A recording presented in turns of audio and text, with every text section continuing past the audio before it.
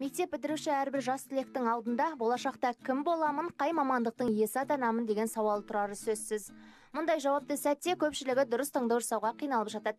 Әлбетте әрбір адам өзіне ұнайтын жаны қалайтын маман атануға барын салғаны жөн.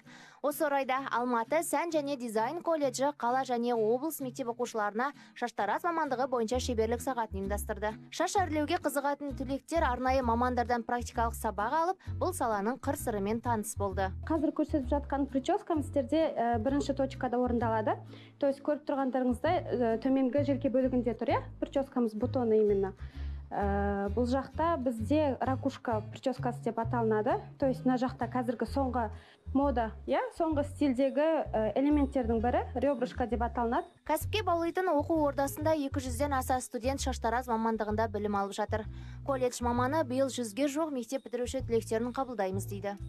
Бүгін колледжіміздің әлеуметтік серіктесі ерлан айнабеков сән студиясымен бірлесіп ашық есік күндерін өткізіп жатырмыз. Алдағы уақытта оқушылар өз мамандығын дұрыс таңдауға үлкен септігін тигізеді деген ойдамыз. Көбісі қазір мектеп бітіріп жатыр.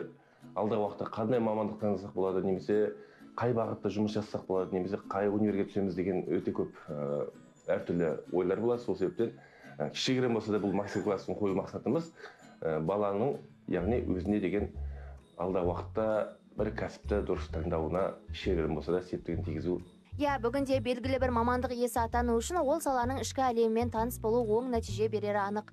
Шеберлік сағатының да мақсаты осы. Тәжірибе барысында талапкерлер шаш қию кезінде қолданылатын құралдарды тарақты ұстау тәсілдері мен шаштың типіне байланысты кесу түрлерін меңгерді. Осы шаштараз өнерін бұрыннан бері армандап жүрмін. Себебі шаштараз өнеріне шаштарды әрлеп бояндырып бәрін қолымнан келетіндіктен осы, осы мамандықты болашақта таңдаймын деп ойлап жүрмін.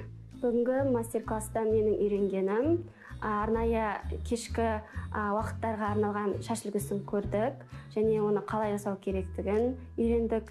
Қалаған маман иесі атану әрбір баланың білімі мен уақытының жемісі. Ендеше асқақ арманы бар әрбір жас түлекке сәттілік тілейміз.